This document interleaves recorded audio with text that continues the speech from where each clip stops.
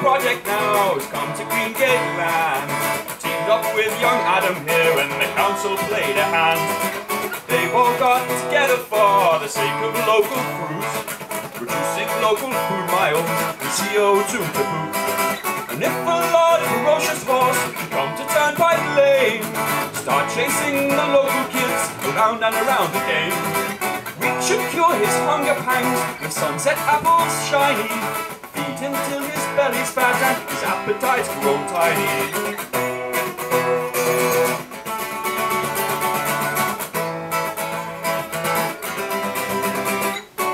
Back in the 16th century, this place was a great farm. No smelly buses or motor cars cause you pain and harm.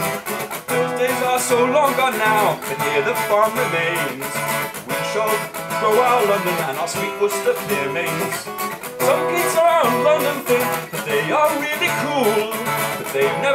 Never experienced North Harringay Primary School.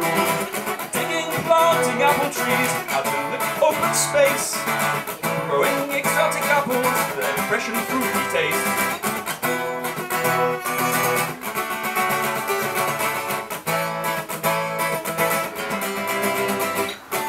Young green plate orchard apple now, you get going and Great young green gate apple orchard finally is born.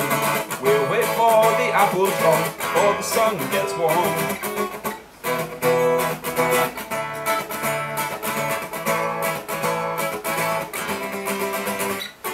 Great young green gate apple orchard finally is born.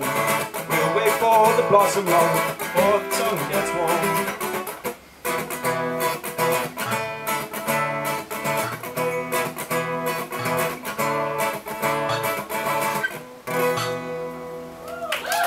Thank you. And can find out a bit more about my music and um, my album in a couple of months, which I'm doing for a fundraiser for the uh, London Orchard Project. Uh, that's um, going to be on their, their website. So thank you.